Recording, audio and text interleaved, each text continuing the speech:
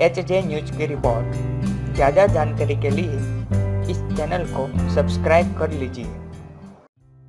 खबरें हैं कि रणबीर कपूर जल्द शादी कर सकते हैं। एक लीडिंग वेबसाइट ने दावा किया कि उनकी शादी की बात लंदन की एक नामी फैमिली की बेटी से चल रही है, जिससे रणबीर अरेंज मैरिज कर सकते हैं। सोर्सेज की माने तो हाल ही में मम्मी नीतू कपूर लड़की की फैमिली से मिलने लंदन भी गई थीं।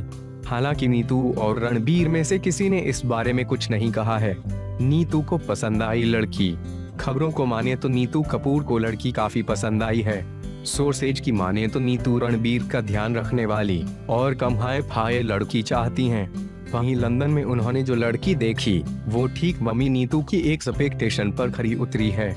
ऐसे में अब देखना यह है कि रणबीर की शादी की ऑफिशियल अनाउंसमेंट कब होगी बता दें, रणबीर को लेकर भले की अब शादी की खबरें हैं, लेकिन अभी तक उनका कई एक ट्रेसेस के साथ अफेयर रह चुका है।